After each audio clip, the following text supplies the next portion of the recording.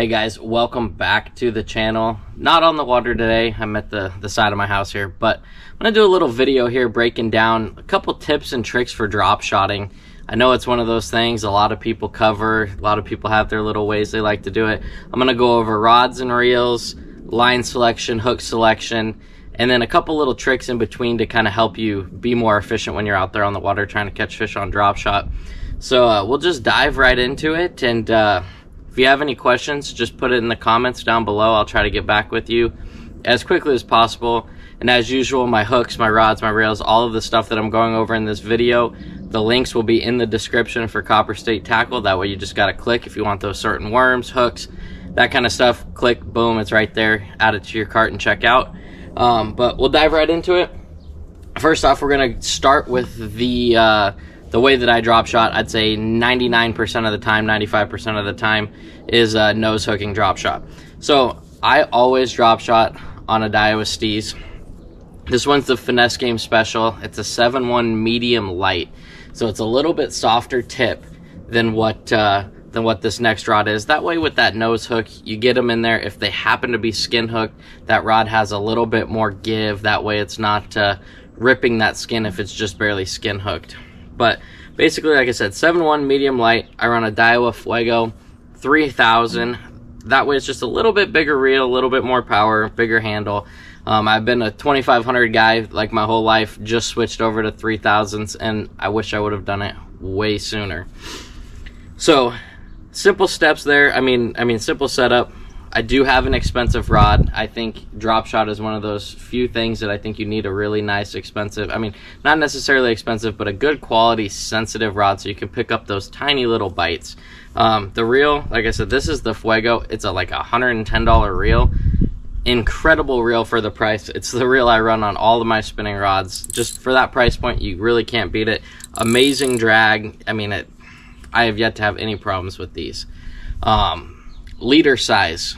Um, all right, well, I guess we'll start with length. I like to start with about a 15 foot leader. So basically, I'll tie my knot and uh, point the rod tip straight up in the air, reel it. That way, it goes up to the tip of the rod and then down where it hits the spool. Give it about two or three wraps on the spool. Figure, you know, seven foot up, seven foot back down. You're right about 14, 15 foot. That way, it gives you enough line to kind of start with so you're not sitting there retying every time you break off.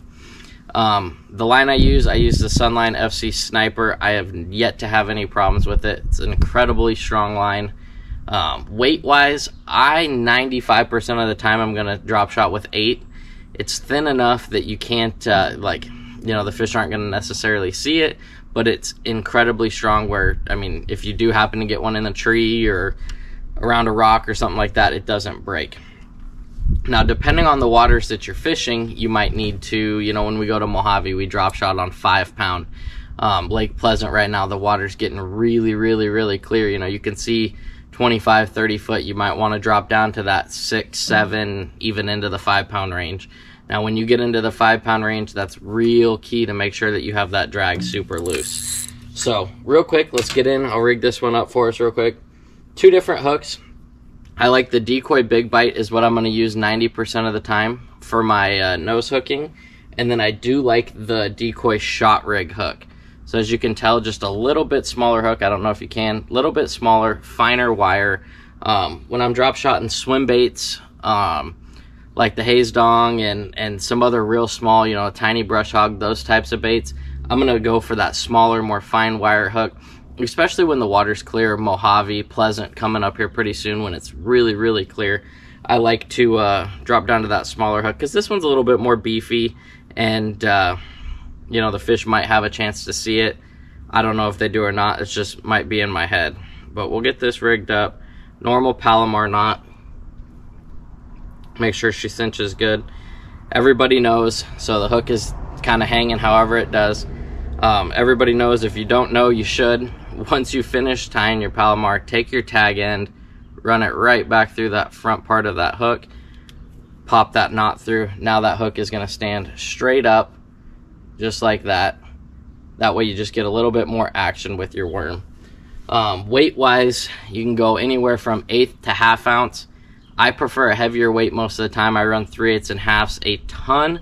Um, I do a lot of live scoping, so when I see something I cast to, I want that bait to get down to it um, before it's gone. So um, teardrop cylinder doesn't matter. I happen to have teardrops right now. As we all know, those weights just go in. Sometimes they cut your line when you tighten them, sometimes you don't. So there you go. You have your rig. Um, leader length is something I get asked a lot of questions on. I like to run anywhere from, I'd say, a 12 to 24 inch leader. Um, kind of look and see, you know, are they on the bottom eating craws? You might want to drop down to that six to eight inches, or sometimes at Shasta, I was running a two to three inch leader because those fish were on the bottom and were not willing to come up for at least me. Um, so you just mess around with it. If you see in the fish suspended three foot up off the bottom, shoot, throw a three foot leader on, four foot leader, whatever you can keep manageable. Um, but I would say normally I'm running anywhere from 12 to 18 inch leader. Um, baits now, when, when you go to hook on a nose hook, as usual, we got the Arizona Custom Baits Dusty Craws.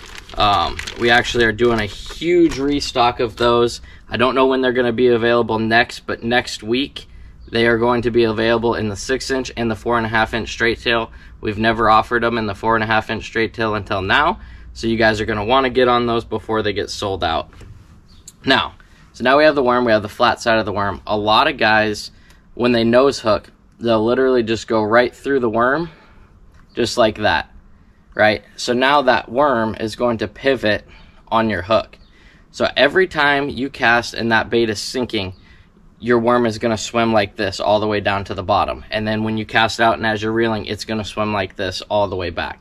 Now what that does is just twist the crap out of your line, ruins your leaders, twists your braid up. That's what causes your big explosions in your reels. Plus, that hook is out there. I mean, you are not weedless by any means. So what I like to do, it may be hard to see here, but uh, I go to the flat side of the worm, gauge just about how far that's going to be and then I just slide it straight up the bottom of that worm. So now that worm is basically just slid right on that hook and now my hook is just under the top of this worm. So like I can go like that, there's no hook there. Keeps you a lot less or a lot more weedless so when you're dragging through rocks your hook doesn't pick up on it. Trees, if, as long as you're gentle, you can work your way through those trees and that worm is straight on that hook so it really eliminates a lot of that twisting as it's sinking and coming in um, so that's how I like to set up my uh, nose hook drop shot rig um, I would say the most important two parts about that is obviously running the line back through the hook that way you have a little bit more action that hook goes up kind of like a snell knot when when you uh, set the hook get them more in the roof of the mouth, and then obviously that hooking that worm right through the middle is going to be your best case. That way you don't have line twist and you stay weedless.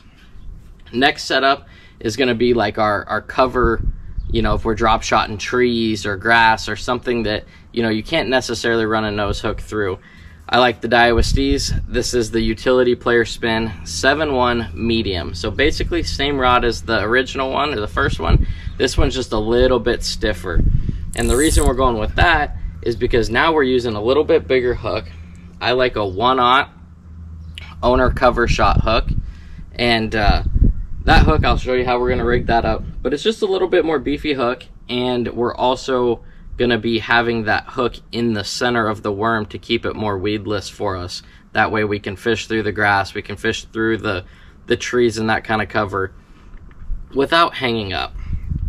So just like the nose hook, that hook is still hanging down. So take that eye of the hook, or that tag end of that hook, put it right back through the front.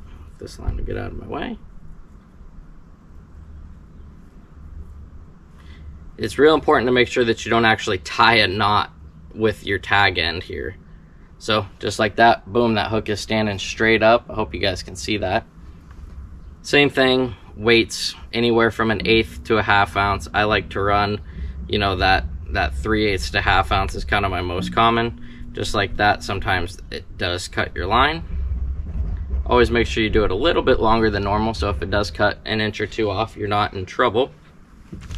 Same thing here, we got the Arizona Custom Baits Dusty Craw. Will be in stock next week. So here, same deal, kind of with the um, the nose hook, we want this to be as straight as possible. So basically you're going to measure how long that shank of that hook is, push it through and pop it out, right out the belly. Slide that all the way up, push it over your little keeper. That cover shot rig has like a little fluorocarbon monofilament keeper. So basically you have it slid all the way up, your hook is out, you're to twist it halfway around and then slide that hook right into it. Now you want that hook to be perfectly straight. That worm is perfectly straight. There's no bend in it other than maybe what I'm pushing on it with my fingers, but that hook is not sticking out at all. It's right under there. That way, as soon as that fish clamps down, it's going to put that hook out. Boom, you got your fish. But you want that thing completely weedless. That way, as you're dragging through the trees, the grass, you're coming through it and you're not hanging up. So, those are kind of how I like to rig my two two drop shots. Like I said, 90 something percent of the time I'm throwing a nose hook. I'd rather deal with a nose hook in the trees and just be real gentle, finesse it through the trees. I feel like your hookups are better. You don't lose as many fish. Nose hooking is just, I think you have more action, all that kind of stuff. Guys like to use the bigger hook to cut the action down.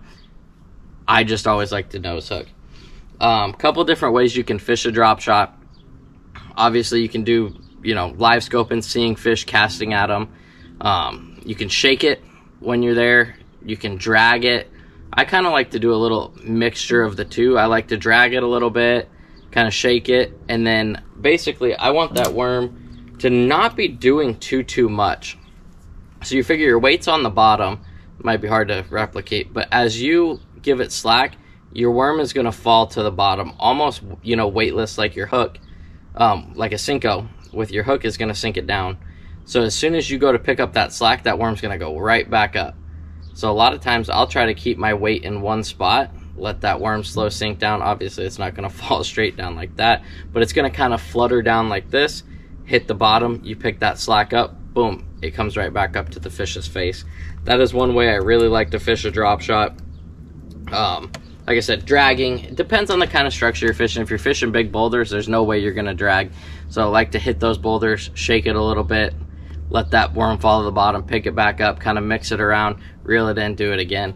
All depends on the cover you guys like to fish, but that's kind of how I like to set up drop shots with the specific rods and kind of how I like to do things. If you guys have any questions, like I said, leave it in the comments below. I'll answer them as quick as possible. Check out Copper State Tackle. Everything will be in the description. And uh, hopefully you guys catch a bunch of fish this year.